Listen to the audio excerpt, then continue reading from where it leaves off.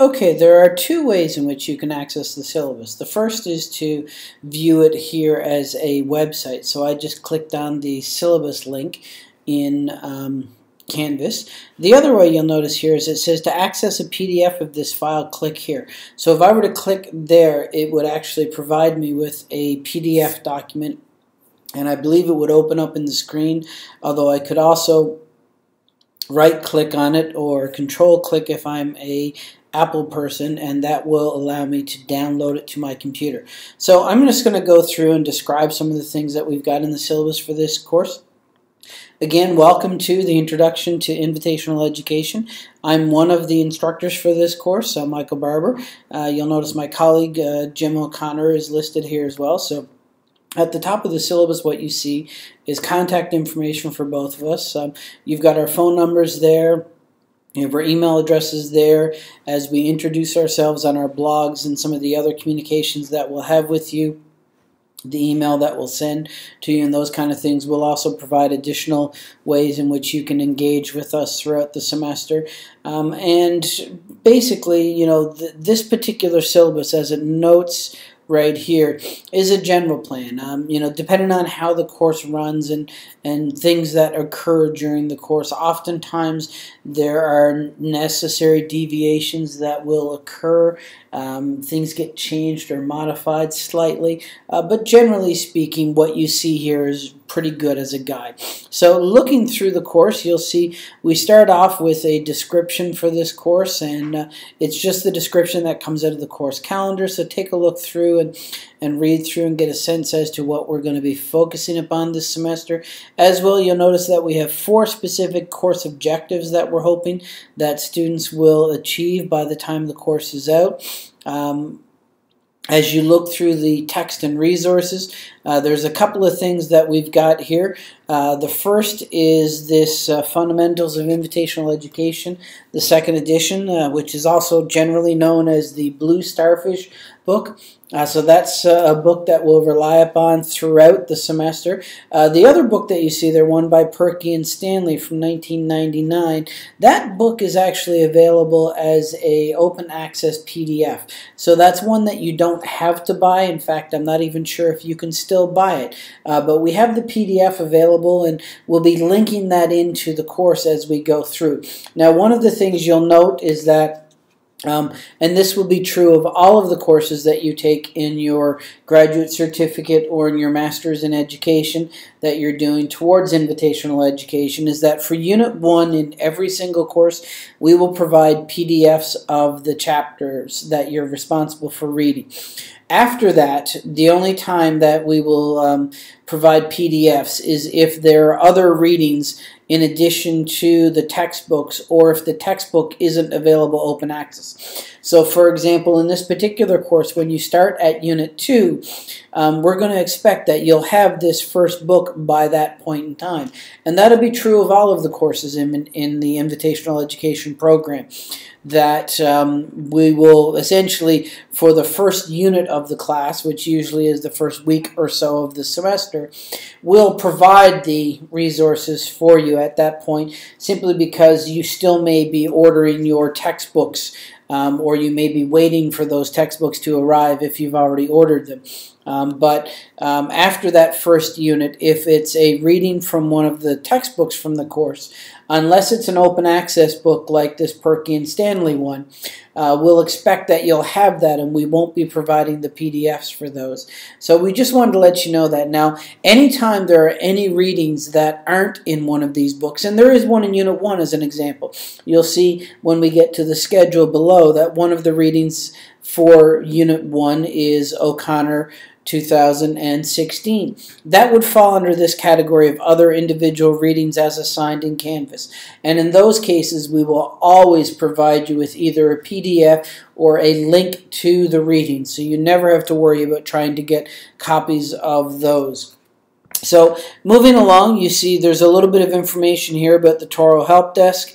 Um, so if you do run into issues with either the technology or if you need help with the library, um, you can see the links as well as the phone numbers and email addresses that uh, you would be able to get folks. I will mention that Tamara um, is our education librarian, so she is the liaison for the Graduate School of Education.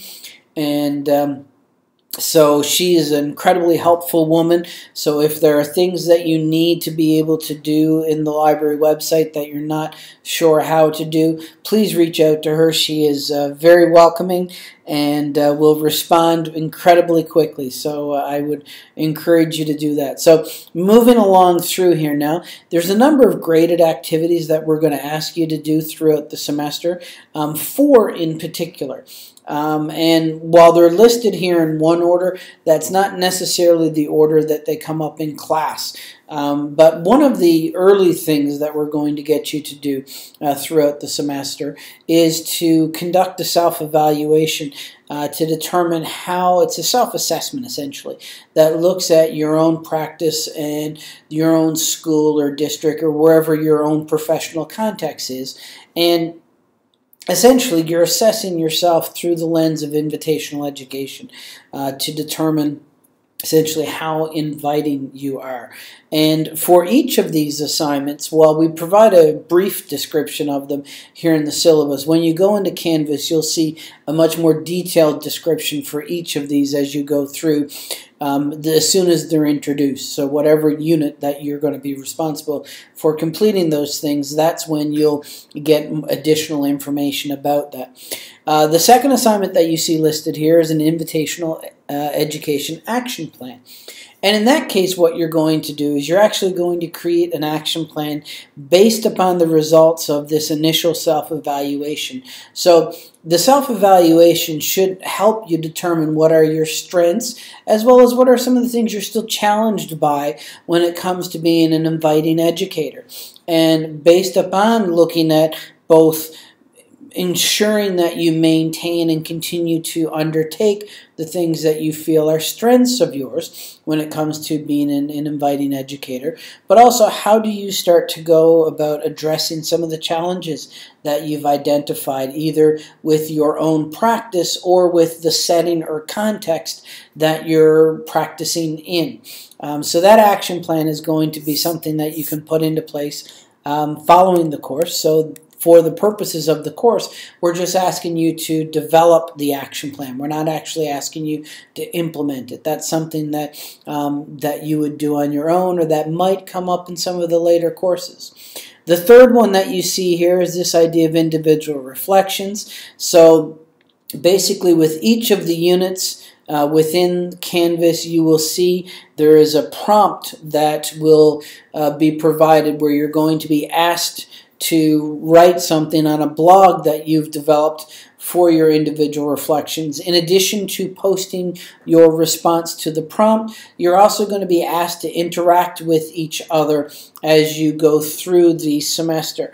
Um, so it's not enough to just post what you think or your response to the prompt. You want to interact with your fellow students. And, and Jim and I will try to go through and interact with you as well. Uh, and basically, the whole idea of these individual reflections, it's to get you to begin to think deeply about some of the content that we're looking at, uh, both in terms of the readings, but also the course content that's posted, and in some cases to challenge some of your beliefs so that either um, you refine how you see things or that you're able to clarify the way in which you see things based upon having to uh, discuss and even defend some of the things that that you feel are fundamental beliefs about your practice. Um, finally, the last item that you see here is participation.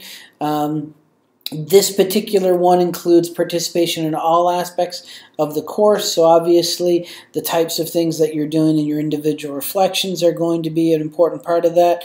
Um, your engagement, particularly within the learning management system. One of the nice things about having an online course like this is that uh, the learning management system actually goes through and, and it records your interactions within the system.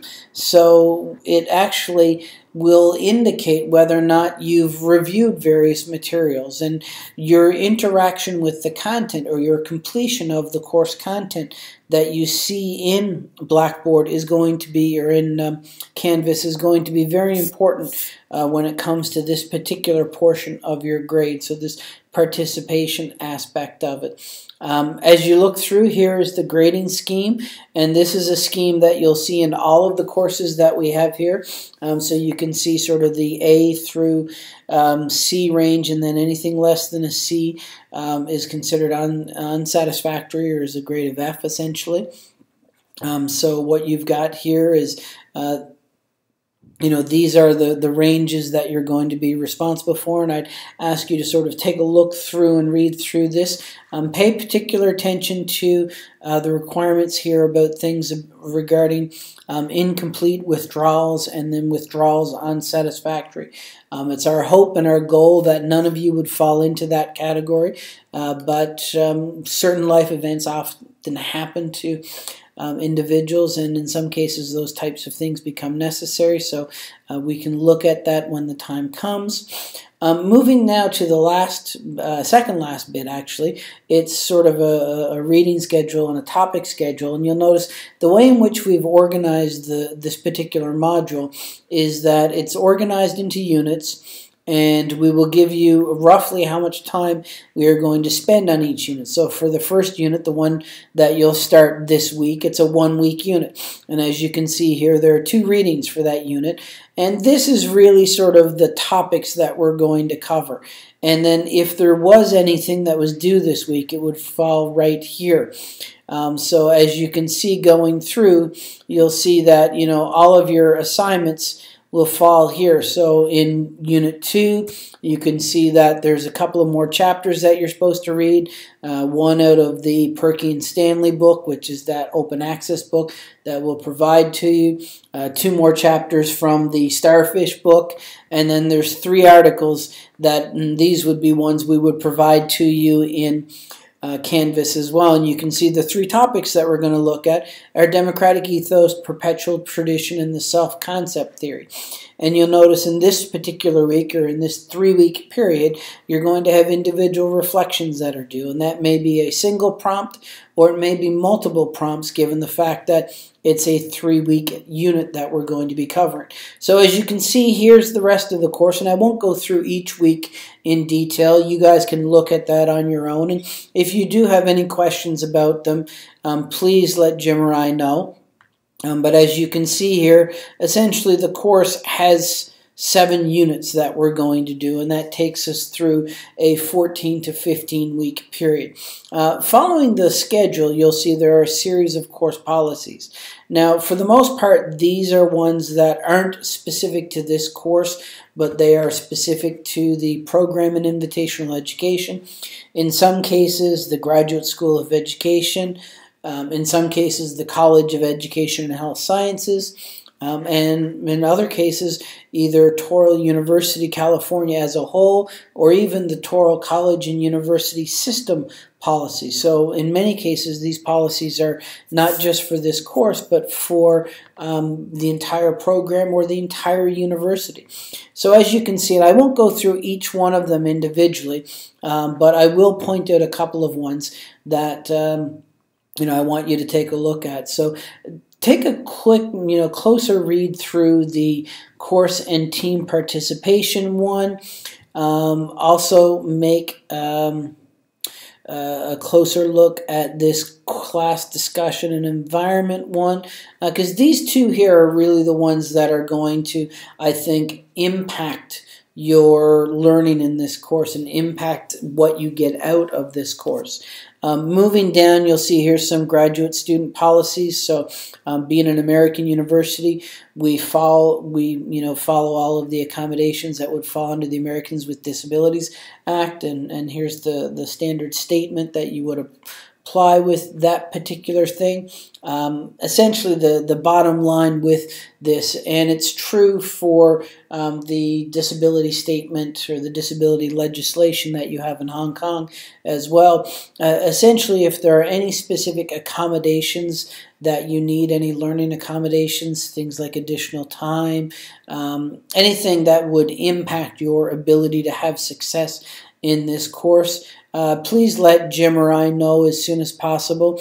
And, um, you know, if there are other steps that we need to take in terms of having that, um, your, your particular disability and the specific accommodations registered with our Dean of Students, that would be things that we would help you uh, with. Um, you know, looking at uh, some of your written work, um, basically it should be well written, grammatically correct, and uh, conform to the latest edition of the American Psychology Association Style Manual or APA. Um, late work does get accepted, although you'll note there's a specific time period and there's also a penalty involved with that. And one of the things I would always advise is basically to contact Jim or I if you think this might be an issue for you, meaning that if you think you might end up submitting any of your work late, uh, because that's the kind of thing that we can work with you and see if there are specific things that we can do to help out. Um, here's some information about student dispositions that we expect all students at Touro University to maintain.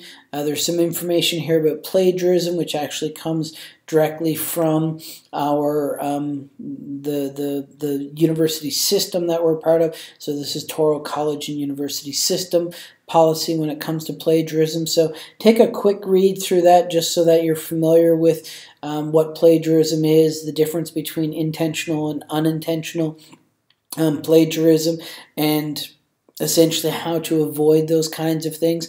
And then that really gets us to the end of the syllabus. So if you do have any specific questions, please let us know. Um, hopefully this has provided you with a good overview of the policies for the course and essentially uh, what's going to be expected of you and also sort of given an idea of how we're going to proceed throughout this semester. So again, if you have any questions, please reach out to Jim or I in any of the means uh, that we've provided to you, and we look very much forward to engaging with you throughout the semester.